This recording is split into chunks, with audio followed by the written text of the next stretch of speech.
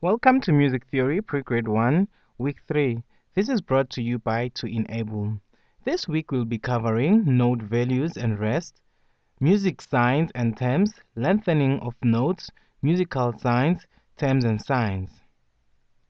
Let's begin our Week 3. Lengthening of notes. Notes can be extended for a longer duration by using ties. We can extend notes for a longer duration by using ties. You can only tie notes that are on the same pitch. So ties, they work on the notes that are on the same pitch. You can only tie notes that are on the same pitch. Rests cannot be tied. Remember this, we cannot tie rests together. A tie indicates the second note must not be played again. This means holding the first note for the duration of the tied notes. So a tie indicates that the second note must not be played again. The second note must not be played again. This means holding the first note. Hold the first note for the duration of the tied notes. Any number of notes may be tied. A tie symbol is like a curving line stretching from one note to the other. Let's take a look at our examples. We said ties, or you can only tie notes of the same pitch. You can only tie, tie a D to a D. There's a tie symbol, stretching curving line from one note head going to the other. This means you're gonna play and hold this first note for the duration of this note. So you're gonna count one, two, three, four plus one, two, three, four. This will give you eight. You're gonna hold the first note for the duration of eight beats. That's how a tie functions. Dotted notes and rests. A note can be lengthened by adding a dot next to it. So we can also lengthen notes or extend notes by adding dots. A dot increases a note by half of its value. So a dot is different from a tie. A dot increases a note by half of its value. By half of its value. We call this dotted notes. Not notes with dots are called dotted notes. We can only use dots for rest or or we can also use dots for rest remember we said we can uh, tie rest but here we can extend rest by using dots dots on rest write the rest or you can write the rest out in full dots are placed right next to the notes and if a note is on the line the dot will be placed in the space above the note so dots are placed right next to the notes. Right next to the notes. And dotted whole rest. This is a dotted whole rest. Then a dotted note. Remember, this is a semibreve and it's worth 4 counts. Adding half of its value would be adding 2.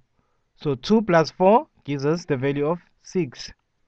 Same goes for a dotted half note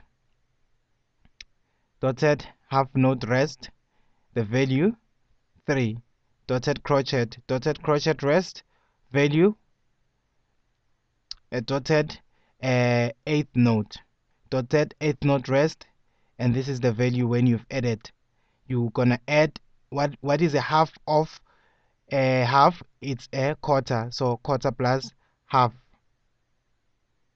it's gonna give you 3 4 then this is a dotted 16th note, which is a semiquaver. Dotted 16th note rest. It's to give you a 3-8. Signs. Let's take a look at what a slur is. A slur marks a group of notes as a phrase that must be played legato. It marks a group of notes as a phrase that must be played legato, which means smoothly. It is placed on the side of the note heads. This is how a slur looks like. It's similar to a tie, but it functions differently.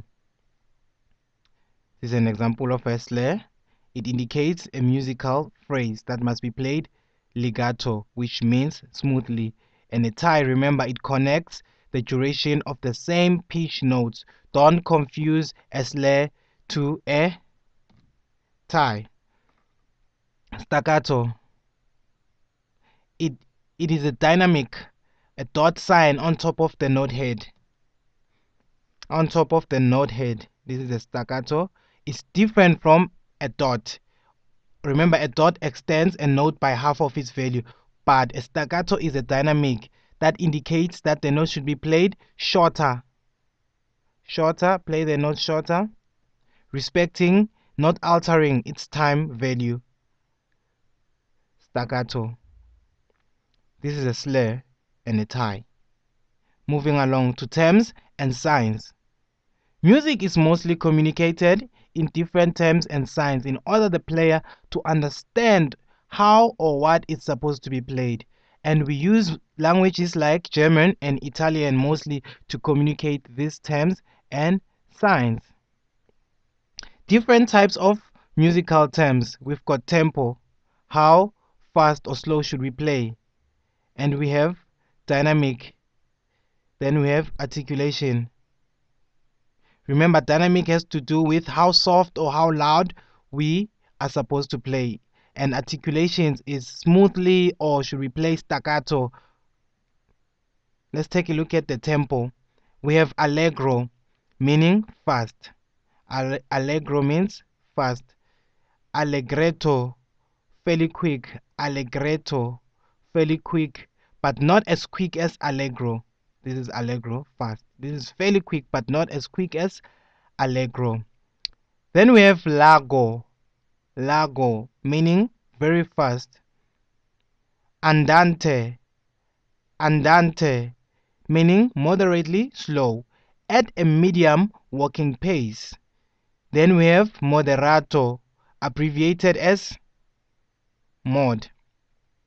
Moderately or moderate speed allegro moderato, meaning moderately quick tempo, followed by ritardando, abbreviated as read or retard, meaning gradually getting slower.